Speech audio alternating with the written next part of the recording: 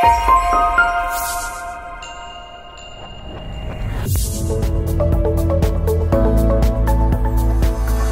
new Pageless feature in Google Documents allows you to go to File, Page Setup, and choose Pageless.